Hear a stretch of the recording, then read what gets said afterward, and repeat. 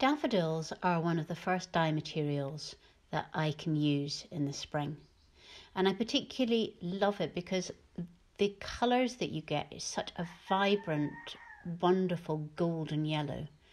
Um, and it's a contrast to all of the reddy browns and olive greens of the winter.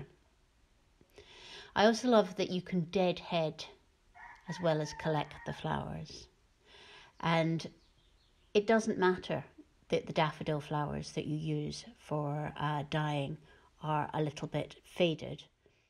They work just as well for natural dyeing and give you a wonderful, vibrant uh, golden yellow. Here I am making the dye pot. First in goes a jug of water. And then I'm going to add an alkalizer to the pan. I use a little bit of washing soda um, and that is what I use to scour my linen. So I have it around. And all that this does is just bring up the pH of the pan so that it seems to extract more dye from the flowers. Then I add the flowers. The more flowers you put in, the more dye pigment is going to be there.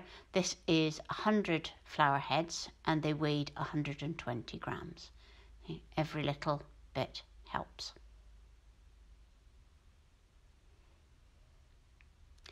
And in this case, of just stirring it and bringing it gently up um, till you get a nice kind of simmer just before a really rolling boil. And then I strain the liquid through a colander or sieve. You can see I'm not very tidy.